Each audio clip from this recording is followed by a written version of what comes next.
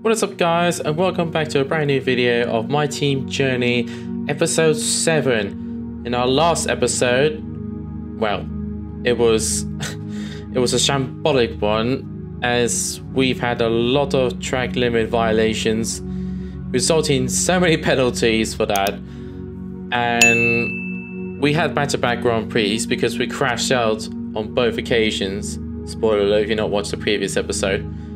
But yeah, we're gonna forget about it and just press forward and head over to the British Grand Prix, our home track, a track that I'm not very good at, I must be honest.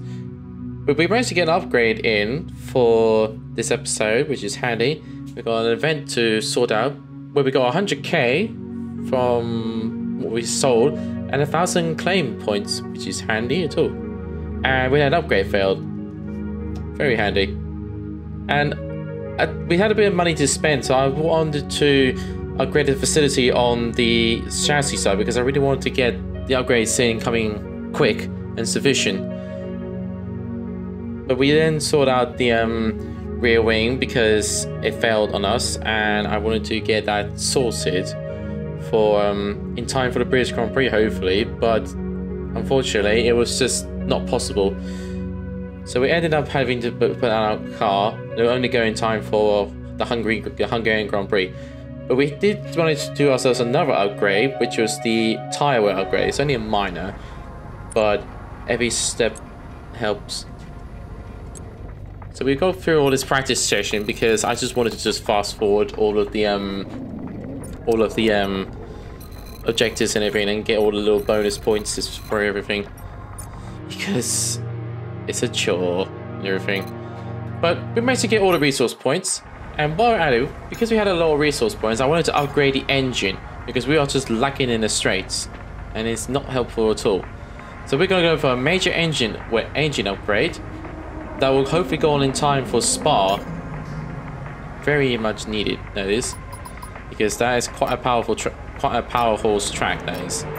Same with Monza as well. We now have changed some components for our car because they're worn off. We're going to qualifying.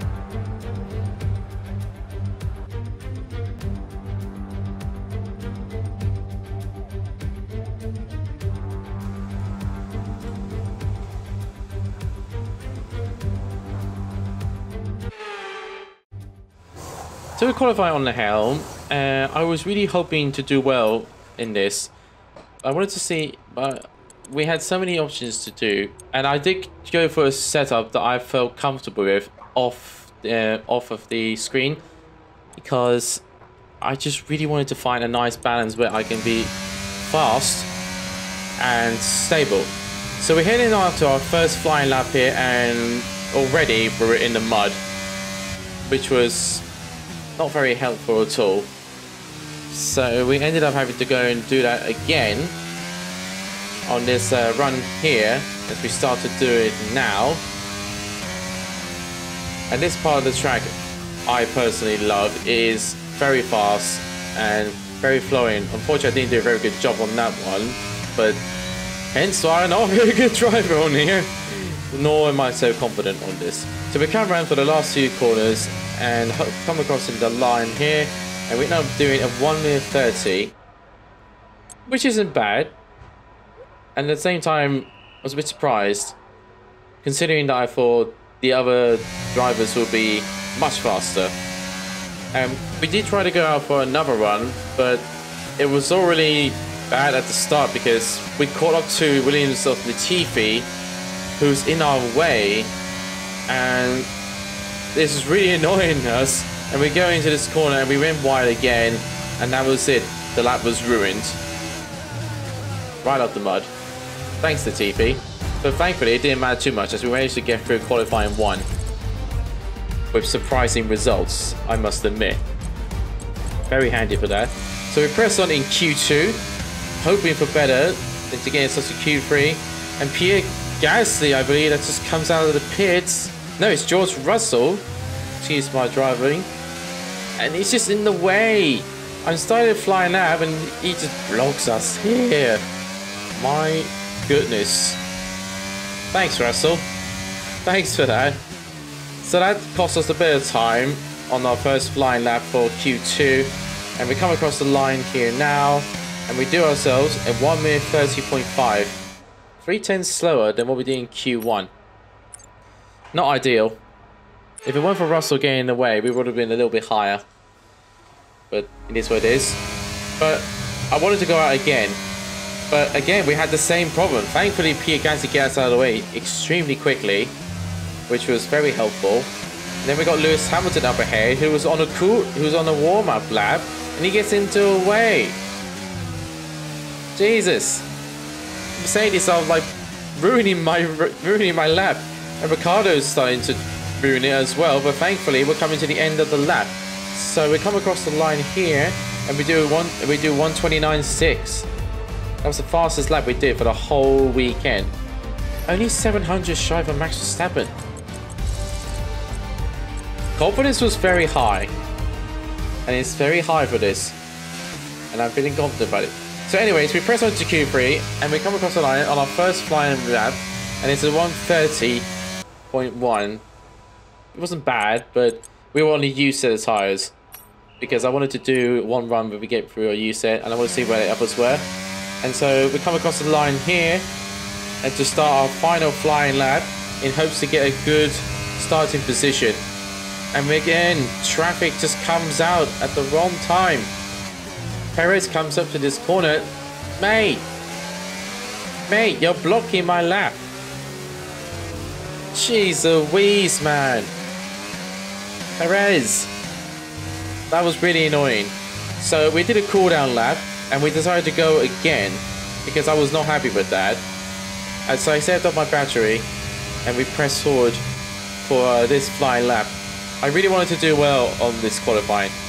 Our qualifying has not been great so far this season. I know it's, I know it's not a good car at the moment, but we're slowly making development progress work on this, despite the failures.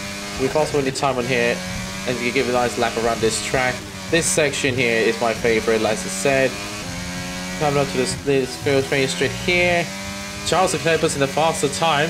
Qualifying is now finished. We are like by six tenths. This is a massive improvement. And so we're coming across the line here. And where does it put us? I didn't quite catch that. It puts us fifth place. I will happily take that. Fifth place for the British Grand Prix, with Carlos Sainz taking pole position. Much like real life. Oh, I was pretty pleased with fifth place, I must admit. So with that set in stone, we were able to beat uh, our Albon's rival, which was very handy. As for Piastri, he was just like almost plumb last, which is inevitable, to say the least. But it is what it is. We can only hope for better things in the in the Grand Prix. So without further ado, let's get straight into it. Welcome to Great Britain and the Great Silverstone Circuit for today's Grand Prix.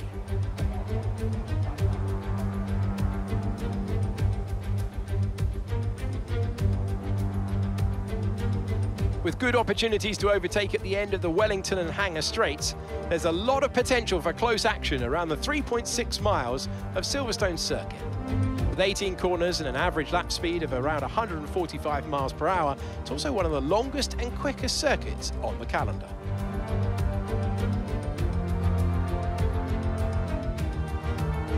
Before we begin, let's take a quick look at the grid lineup for today's race. It's Carlos Sainz in pole position, and it's Charles Leclerc in P2.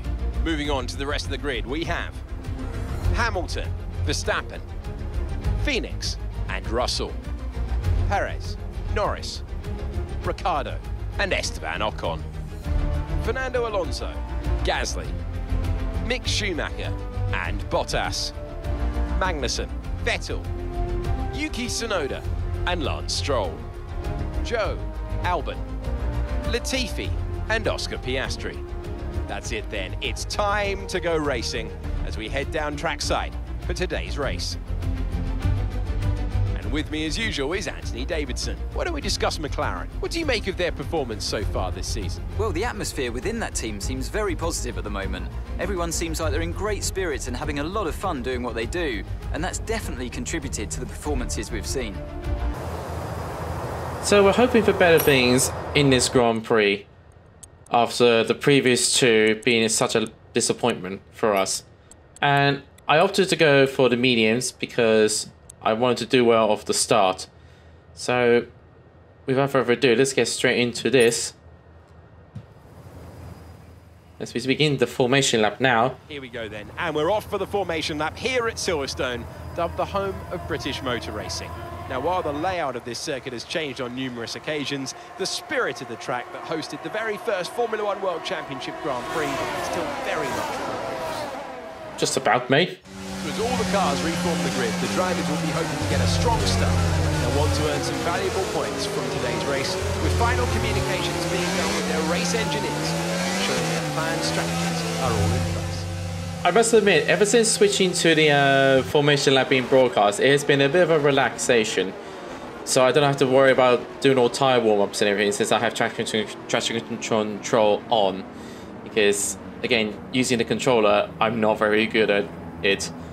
I know it takes practice, but it's just not so much fun when you got to try and control the throttle and everything. So we line up on the grid here, starting fifth. The all British front, an all British third row. So three, three red lines, four red lines, five red lines, and the British Grand Prix is now underway. So we managed to get an average start, and George Russell on the left is lightning getaway. We pop down to six, which is all right, but then Norris gets us here on the on the on the inside. You know, Perez comes on the inside of us. He, he literally hits us. Thanks, mate. And it's literally three wide at this space. Like Ricciardo on the inside, Perez on the outside. We managed to hold both drivers off. Thank goodness hit me. We're down. We're going to drop two places from fifth to seventh. It's not bad. It's not worse. But I'd rather drop two places than out of the top 10, which is crucial to say the least. Now, the aim of the game is to stick with these drivers as much as possible, considering how fast they are and how OP they are on this track. Perez is coming that back at us. My goodness me, that Perez, that, not that Perez, he's the Red Bull is so fast in the straight line, he's side by side heading to Maggotts and Beckett's. We just get ahead with two touch a little bit, and we just, Perez hits us. He hits us in the back, and that's contact, and he loses his front wing. And here's a replay of the incident side by side through Maggotts and Beckett. And literally, we just tap there, and then Perez runs to the back of us, and he loses his front wing. That's ruined his race. I'm so sorry, Perez, but at the same time, you got what you got coming. Needs on-board footage of this, and yeah, he just ran straight in the back of us. That's ruined his race. Sorry, mate. So without further ado, Ricciardo's like heading towards heading towards Stowe, side by side with us. We get the inside, we just managed to hold him off. Get a poor exit though. We managed to hold him at bay. Ocon managed to get in front of Ricciardo. So let's so let's try and get our head down and try and pull away from these guys as possible. As we see Perez in the pits, replacing his front wing from the damage that caused by us. Hate to say it, but I know I broke a bit early, but at the same time, I went a bit wide. What, what else could I do? So without further ado, trying to crawl away from Ocon as much as possible, since uh, they are a threat to us. But um, as time progressed, uh, we were able to pull away from Ocon and Ricciardo as well, who overtook Ocon. Uh, I didn't pay much attention to it as I was focusing so much on my race. And uh, we, um, we are just keeping up with the top six, which is um, pretty pleasing to see, I must be honest. Just over two seconds at this early stage of the Grand Prix. And then we came up to this corner here, then mm, we get a track limit violation. Our first one of the day. Not ideal. Two more times and we get a penalty, which is slightly annoying. Side by side actions between Verstappen and Lewis Hamilton coming up to Stowe here. Side by side, Lewis Hamilton gets ahead. He gets ahead of Verstappen. Nice move there. It's the upper footage from Verstappen. Literally side by side action here. Coming up to Stowe. Side by side. Lewis Hamilton almost ran him out wide. And that is third place for Lewis Hamilton. Nice move there from the Mercedes, from the Mercedes driver. Almost at McLaren. Bit embarrassing. There's a slow car there. That has to be Perez. Oh no, it's an engine failure by looks of it. His race has literally come to an end and it's a race he'll want to forget.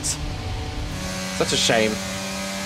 But unfortunately, that's the reality of Formula One. You win some, you lose some. And we started closing in on the McLaren of Norris, but then there's side-by-side action between the Ferraris, juggling for the lead here, heading towards Stowe. Charles Leclerc gets the lead, takes the lead away from Polster to Sainz, as Perez's car is still out there on the yellows. How's that not a time penalty? How's that not a time penalty? This is rigged. Perez, uh, not Perez, Verstappen comes back and Lewis Hamilton on the inside. It literally takes him. And he's back up to third place. Lewis Hamilton couldn't do anything about it. Here's the onboard footage from Max Verstappen. He did, Lewis he did what Lewis Hamilton did to him, ran him wide from uh, Stowe. He's now back up to third place. Here, the two Alpines squabbling over I, I, can't remember what position they were in, but Fernando Alonso gets a DRS on the inside of Stowe. This is becoming a passing point at this state. this is a good race so far. Only laps in. This is great. Here's the onboard footage of Fernando Alonso on the inside of Ocon, and he takes the place away from him. Nice move there from uh, Alonso. And here come up to lap 8 of this Grand Prix. And yeah, I, I figured on that one, and, and there was I don't think there was going to be a way to catch up with the guys at the front because they're just too fast at this space. And we did get the call to come into the pits, but I opted to stay out for an extra lap in hopes to overcut uh, at least three drivers in the top six because well we've got nothing to lose. We've got nothing to lose at all. Verstappen, Perez, and I think Leclerc, not Perez, Verstappen, Hamilton, and the and Leclerc pitted. And then the next lap later, Russell, Sainz, and Norris all pit as well. They all pit at the same time. Sainz just gets ahead of Russell, and Russell gets ahead of Norris just about. Nice pit work on those teams there. And we come in for ourselves. And our first pit stop of the season of the race here. It's a nice pit stop for us. And we hopefully will be able to jump the guys and try and do something about it. But it was inevitable they were just going to get past us. They were just too fast uh, for us. So we rejoined seventh place, I believe, just ahead of Ricciardo. Um, I believe so. And now we're going to the hard tyres, which is um, vital at this stage. It's literally taking us to the end of the Grand Prix, which is um, uh, which is all we can do now. Yeah, we're just ahead of Ricciardo, which is which is crucial for us. And then um, Sometimes Maggotts and Beckett doesn't work for us. Sometimes it works wonders for us. At this stage, the tires are cold at this point, which is um, not ideal at all. As you can see, the top six on this mini map here, they're literally just inseparable. Look how close they are. Top six, battling for the win and for the podium. This is incredible. Out of my times playing Formula 1 games, I don't feel like I've ever seen a battle this close so far, with Sainz leading the way and George Russell homing in on him in second place, hoping to get his first win in Formula One. But with Lewis Hamilton right in the back, I don't, I can't remember how many times he won the British Grand Prix, but he'll hope to extend his. Uh, oh wait, he won it seven times, uh, hoping to achieve his eighth British Grand Prix win. This is a, this is pretty epic, I must be honest. I, I from what I can just tell by this, it's literally like one and a half seconds separated from the top six. This is insane. George Russell gets a nice slipstream. He goes on the inside of Copse. All turn one. And now side by side. Sainz and George Russell side by side here. Coming out to Maggotts and Beckett. Where is this going to end? They're side by side still. Wow. This is truly epic. Sainz just gets ahead just about. But Norris, but not Norris. But Russell gets uh, DRS as does Hamilton and Norris. He's up there as well.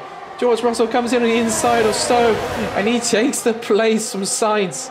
Wow, that was an epic battle. Sainz tries to come back at him, but he can't do anything about it. Norris gets on the inside of Hamilton and on the outside, but Hamilton just holds up Norris. Wow, this is one being one hell of a lap here. One hell of a battle. I wish I was part of this. Leclerc comes on the inside of Verstappen. And uh, does he take the place? He, no, he doesn't take the place. Verstappen just holds off a bit.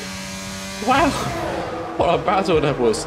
As we see our teammate come into the pits for his first stop of the season, or of the race, sorry to say the least, and he had that problem with the left, the right rear tire. It's not going to make much difference because he's in the back half of the field anyways, so nothing much more he could do about that. But anyways, we press on forward for our Grand Prix, and we, we can't close up to the guys at front. They're just too quick. Just seeing how close they all are. George Russell again, and Sainz battling it for the lead. This is incredible racing. Absolutely incredible. Here's the onboard footage from Leclerc. It's only all squabbling over each other. Look at Norris trying to get ahead of Hamilton and Leclerc on the inside of Verstappen heading to turn one. He goes wide. Oh, and typical fashion, we didn't see who goes out top.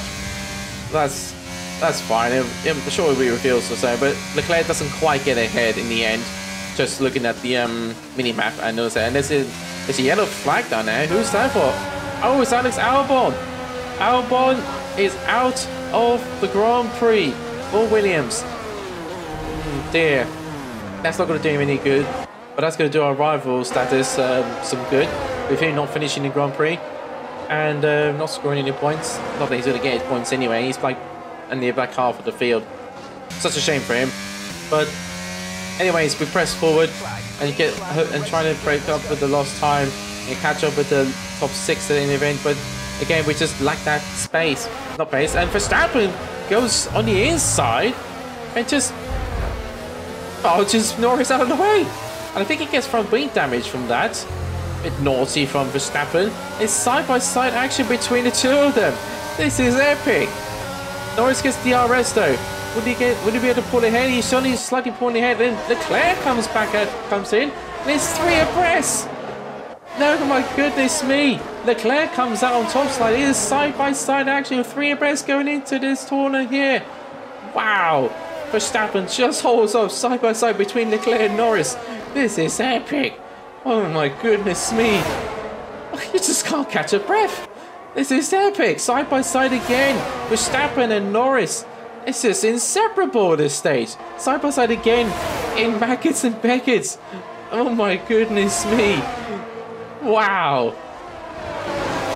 Oh, I need to catch a breath here. Jeez. Norris comes out on top. But he doesn't get, he gets the RS. And Sainz comes back and, uh, and George Russell. Oh, we don't see in the end, but Verstappen comes back at Norris and he takes the place up into fourth place for the Dutch driver, the defending world champion. He's got nothing to lose at this stage. Wow, what a battle that was. What a nice battle. I really wish I was part of that battle. This would have been epic. But given where we are on this in our car stages, there was no way we were going to battle with them guys. Oh, that was breathtaking. And again, Norris and Leclerc, inseparable. But Leclerc goes on the inside of Stowe. And Norris just keeps him at bay. Does he get ahead? I think he just gets ahead. It's the onboard of Norris. It's side by side through Stowe. Oh my word, this is brilliant racing. Proves respect between the two drivers. And I think Leclerc just comes out on the top in the end. I think with Norris's slight damage front wing, that would make him lose a bit of performance, which is not ideal to say the least, considering this is a very high downforce track. And you need a good pace in the um, in the uh, straights as well. But with this squabbling, we were able to close up on Leclerc and Norris. They are side by side still. This is unbelievable. My goodness me. You cannot make this up. Leclerc comes out on top. Norris gets DRS. Side by side with Stowe again. All this squabbling is allowing me to catch up. My goodness me. We were like two seconds away. Now it's like half a second between Norris and Leclerc. This is epic. Please continue doing this. And we get super close up to it. Break super lane and oh we get track limit violation. Damn it!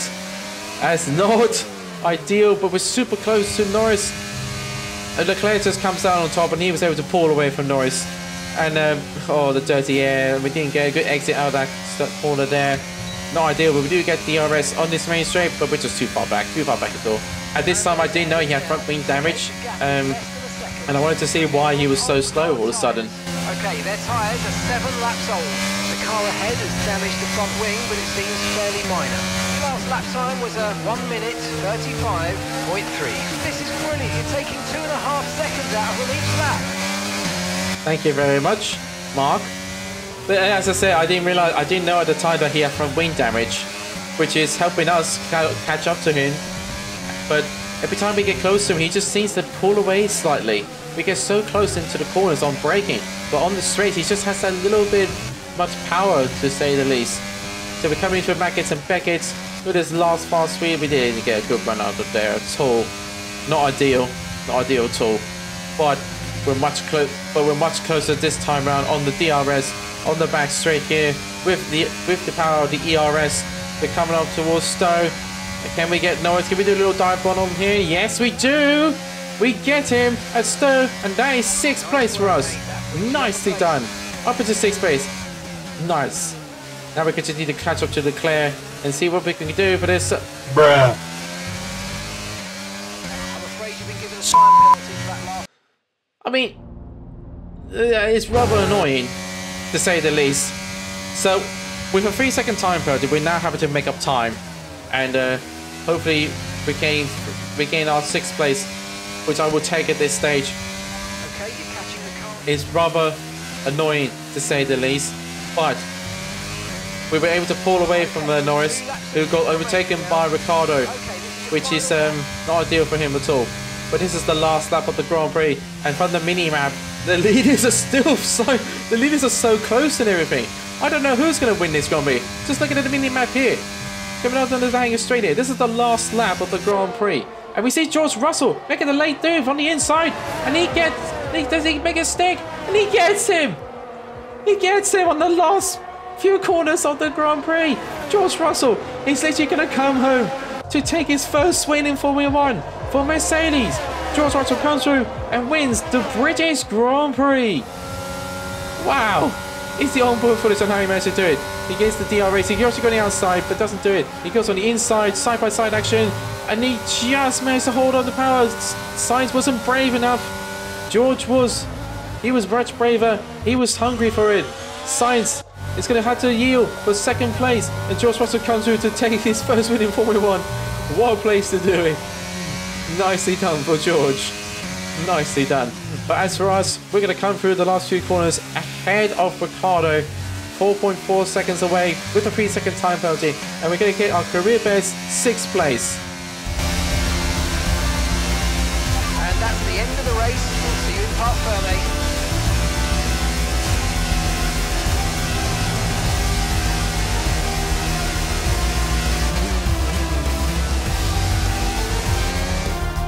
Plenty of action then here in Silverstone. A memorable race and an impressive victory.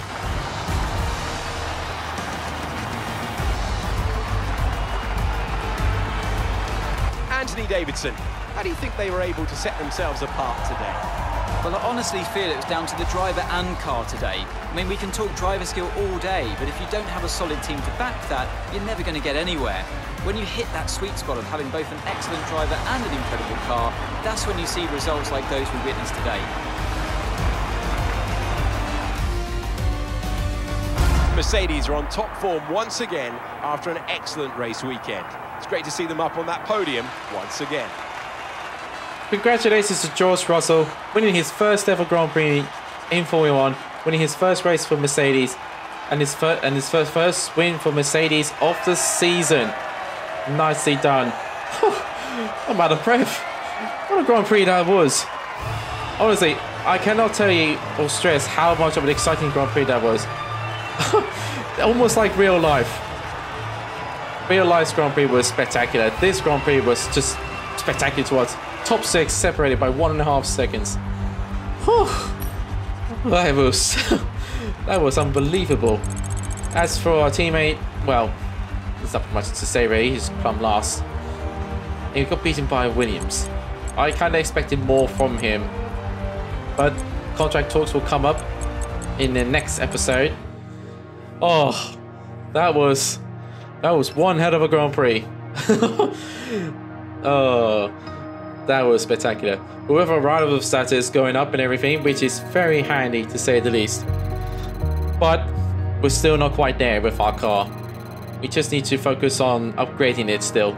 And we got um, Austria next, a powerful, a fast, powerful track, which is um, gonna be uh, interesting. But off off screen, I um, did try to work on my setups for the for that Grand Prix track. Still working on it, but hopefully I can find a good setup for it, to say the least. But anyways, this was uh, episode seven of the My Team Journey for um, for uh, the Iron Phoenix and for the Phoenix Motorsport team. Six points, not six points, eight points in the bag for the team. Sixth place is a phenomenal result considering how the Grand Prix went for us. The collision with Perez and um, the time penalty, to say the least. My oh my. I need a drink. what a Grand Prix that was. But hopefully we can do better. Hopefully we can push one better for uh, Austria, to say the least. The uh, home home track for um, the Red Bull team. But anyways, this was the Grand Prix of the of the season so far. My oh my oh my oh my. oh, excuse me. Oh boy, that was good fun. But anyways, I just want to say thank you so much for watching um, uh, for watching the video today. Uh, sorry for the delay in the upload. Just a life likes to get in the way and everything. I will try and continue to upload more videos daily as possible. And hopefully we can push on February the development race. And hopefully we can get a good result for the end of the season. So without further ado, thank you so much for watching it again. So leave a like on the video, subscribe to the channel if you're new, and if you're on Twitch, I'm on there as well. Give me a follow on that. And your support will mean the world to me. And without further ado, I will see you in the next video.